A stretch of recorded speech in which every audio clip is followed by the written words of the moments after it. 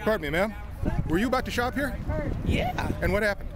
I found out they were picking it. I can't do that. Why is that? Why is it? Because they fight for their rights.